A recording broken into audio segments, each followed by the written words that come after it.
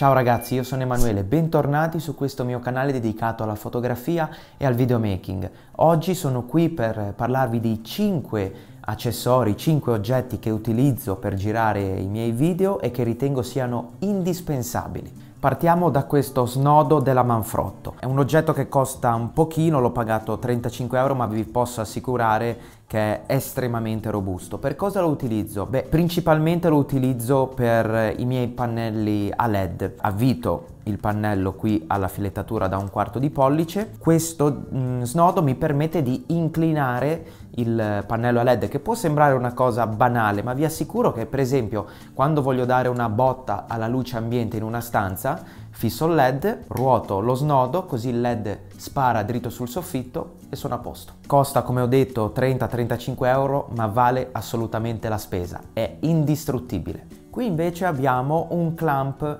per stativi, praticamente lo inseriamo su uno stativo e cosa ci permette di fare? Eh, di tenere tutta una serie di oggetti. Io lo utilizzo soprattutto per tenere in posizione i pannelli diffusore oppure i pannelli riflettenti e questo piccolo oggetto permette di fare a meno di una persona sul set. Spesso e volentieri dobbiamo eh, chiedere a qualcuno di tenere in posizione, ad esempio appunto il, uh, un pannello diffusore, un pannello riflettente per andare un po' a riempire le ombre.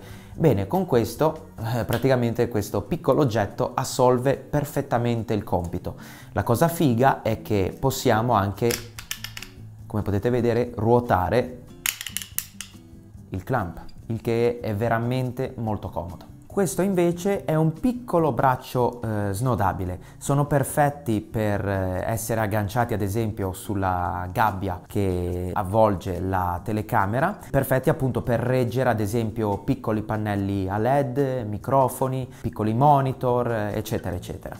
Questi sono della Handware, se non vado errato, eh, ce li ho da tanti anni e sono veramente molto validi. Li avevo pagati poco, ma vi assicuro che non mi è mai caduto niente. Questi piccoli bracci mi hanno salvato in tante situazioni e li ritengo veramente eccellenti. Qui invece abbiamo un altro clamp che però si utilizza principalmente sugli stativi, vedete la forma e si può agganciare facilmente a uno stativo, a un trepiede, a un tubo, eccetera, eccetera, ma può essere utilizzato anche su, perché no, dei tavoli. Io lo uso spesso e volentieri, lo trovo perfetto mh, per questo scopo, per mh, sistemare piccoli pannelli a LED, come ad esempio l'Amaran della Aputure, in punti dove è difficile arrivare, diciamo, con altre luci. Inoltre sono presenti tre filettature a un quarto di pollice e perché no, possiamo anche agganciarci il braccio snodabile che vi ho appena fatto vedere. E poi qua sopra volendo possiamo anche agganciarci un, un illuminatore a led, eh, qualsiasi altro accessorio diciamo.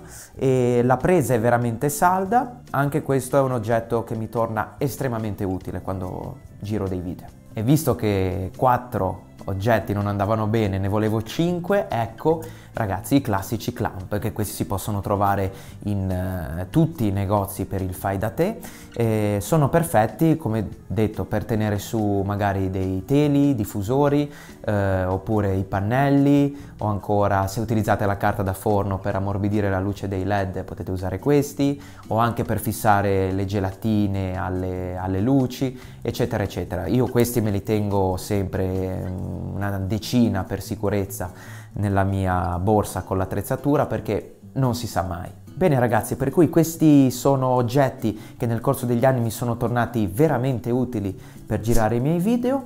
Eh, nel caso voi ne conosceste degli altri, perché no? Scrivetemi un commento qua sotto e ragazzi io come sempre vi ringrazio della visione delle iscrizioni di tutti i commenti che mi lasciate e vi do appuntamento ai prossimi video. Ciao a tutti!